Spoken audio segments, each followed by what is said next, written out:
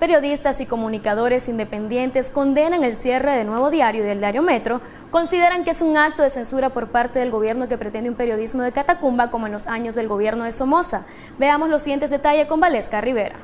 La Organización de Periodistas y Comunicadores Independientes en Nicaragua condena el cierre del Nuevo Diario y Diario Metro, cuya decisión es parte de la censura a la prensa independiente, aseguran directivos de PESIN. El diario que circuló por 30 años fue limitado por el gobierno desde la falta de entrega de materia prima para su impresión por parte de la aduana de nuestro país acto que obedece a la represión, destacan los comunicadores. El cierre del nuevo diario y metro se apagan más voces. Se le restringe el derecho a los ciudadanos a informarse, pero también ha provocado que decenas de periodistas, fotógrafos, diseñadores, diagramadores y personal administrativo se queden en el desempleo.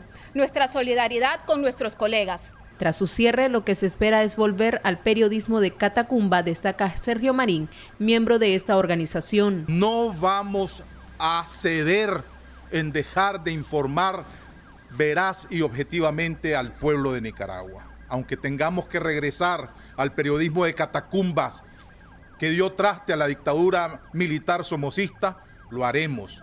Ahora estamos desde las redes sociales trabajando la información y a pesar de que tenemos medios cerrados como el sistema informativo de Carlos Fernando Chamorro, 100% noticias, programas de opinión que dejaron de existir en Nicaragua de la noche a la mañana, insistiremos desde las trincheras de las redes sociales para estar informando al pueblo de Nicaragua. No nos van a amedrentar con sus abusos y excesos. Exigimos de la dictadura cese a la represión a la prensa libre, a las y los periodistas de Nicaragua. A esta condena se unió el Centro Nicaragüense de Derechos Humanos, que llevará esta denuncia ante los organismos que defienden la libertad de expresión a nivel internacional. El cierre del diario Metro y el nuevo diario significa un duro golpe a la democracia. Con cámara de Ángel Ruiz para Acción 10, Valesca Rivera. Como un desastre sobre el derecho humano a la información, calificó el sociólogo Cirilo Otero el cierre del nuevo diario. Además, apeló que el gobierno reflexione y deje de agredir a los medios de comunicación. Michelle Polanco nos cuenta. Para Cirilo Otero, sociólogo nicaragüense, estamos ante una violación constante y sistemática a los derechos humanos, entre ellos el derecho a la información. Esto a propósito del cierre del nuevo diario como consecuencia de la retención ilegal del papel para su impresión.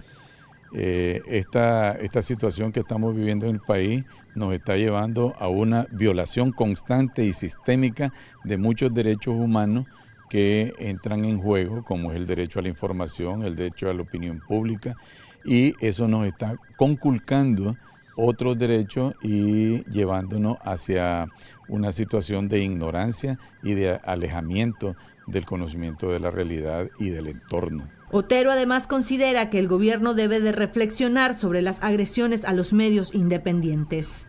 Debería esta, el cierre del nuevo diario debería de lograr que la dictadura reflexione sobre todos los errores que ha cometido y principalmente este de agredir a los medios de comunicación.